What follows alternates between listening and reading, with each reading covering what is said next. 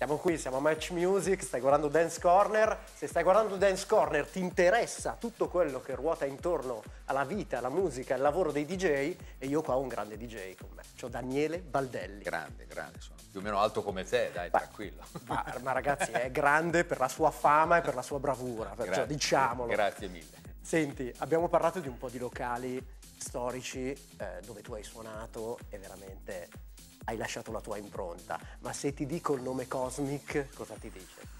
Ma io diciamo che il Cosmic secondo me è la mia vera identità, perché mh, eh, la Baia sicuramente è, stato un trampolino di lancio, diciamo a questo livello appunto, infatti è stato per merito della Baia che io sono stato contattato da questa persona che decideva di aprire un nuovo locale un nuovo locale con delle idee anche lì particolari, diverse, perché il locale voleva essere nell'intenzione una palestra da ballo. Infatti non c'erano posti a sedere, se il locale era so, una capienza da 700 persone, la pista era per 500 persone, per cui non c'era veramente, o, o vieni a ballare o, che, o cosa vieni a fare.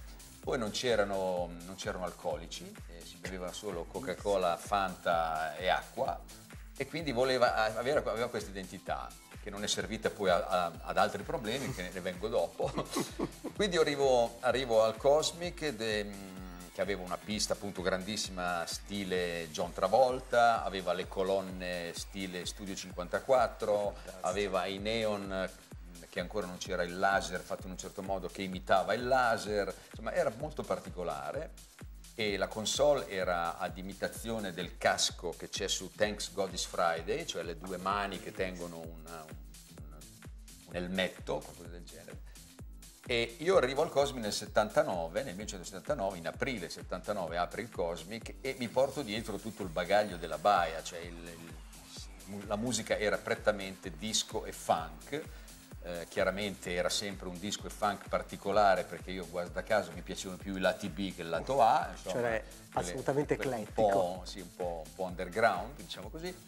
Poi nell'80 succede qualcosa di particolare eh, che è dovuto un po' eh, anche forse al momento, al periodo musicale, eh, nascono nuovi generi, la new wave, eh, ma poi io comincio a interessarmi di altre cose, comincio ad ascoltare jazz, comincio ad ascoltare musica elettronica, un po' di tutto e allora compravi gli album, compravi gli album, per esempio compri l'album di Cat Stevens che è un cantautore e dici vabbè io me lo compro perché lo voglio ascoltare, certo. poi scopri che c'è un brano che si chiama Was Dog the Dog Nut e dici ma cavolo, ma questo si può suonare, si può ballare, si può, forse si può ballare, è così con tutte le altre cose.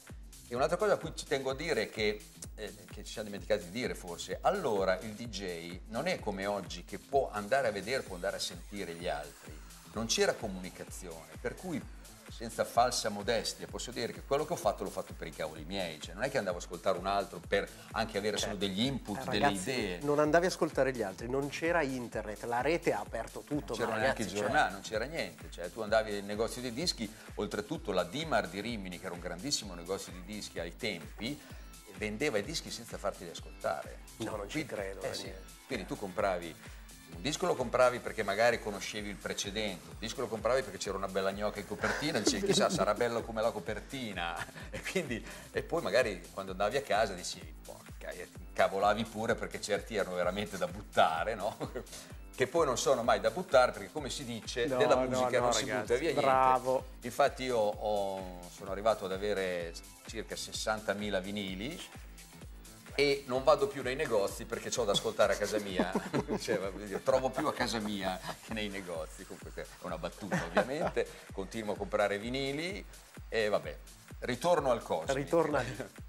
E quindi ecco, lì nasce questa cosa che io sento veramente mia, che è questo modo di suonare un brano elettronico della Sky tedesca insieme a un reggae eh, di Yellow Man mandato a 45 giri piuttosto che a 33 mescolato proprio... con un altro new wave che però è troppo veloce, allora lì invece di 45 lo metti a 33, no, insomma tutto un, cioè, facevi queste cose. Tutta un'alchimia di cose per cui viene fuori questo stile che veniva chiamato, guarda caso, afro, che non c'entra un benemerito niente, nel senso che eh, probabilmente questo nome si è stato affibbiato da, da, dalla gente che veniva a ascoltare, probabilmente perché ad un certo punto si è cominciato a suonare in mezzo a tutti uh, questi generi musicali mescolati insieme un brano di Mano di Bang, un brano di Fela Kuti, un brano di Akedengue, Ture Kunda. Dei brani africani. Dei, veramente. Dei, veramente dei brani afro, che però erano probabilmente il 10% di tutta la, la serata.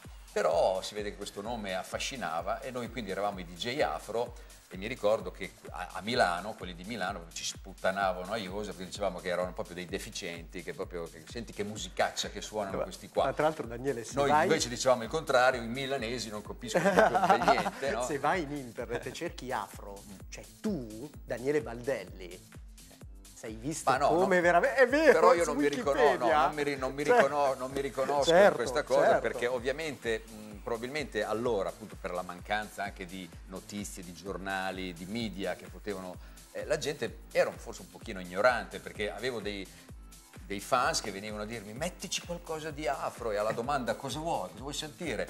E ti dicevano tipo Mike Oldfield, ah, scusa un attimo, Mike Oldfield non è proprio afro, però vabbè era ma no, ma come lo metti tu, Daniele? In quel, periodo, in quel, periodo, però, ecco, dai, eravamo etichettati in quel modo lì, per cui ci sta, va bene, però oggi, come oggi, questa, arrivati a questo momento, è bene specificare che questo termine e indicava prettamente un, una, una, situazione, più che un genere, un modo di fare il DJ certo, certo. e oggi bisogna spiegare che l'afro è, una, è ben altra cosa. Insomma. Certo, ma tra l'altro mi sa che il Cosmic avremo bisogno qualche minuto ancora, eh? poi per spiegare perché ancora fa, è, è forse, anzi sicuramente il locale che ti rappresenta. Sì, io amo propormi come Cosmic Sound, eh, ho il marchio che mi, che mi, che mi tengo sempre certo, addosso, per certo. cui vado avanti su quella linea. Ce l'abbiamo qui. È lui, Cosmic Sound, Daniele Baldelli è qui a Match Music.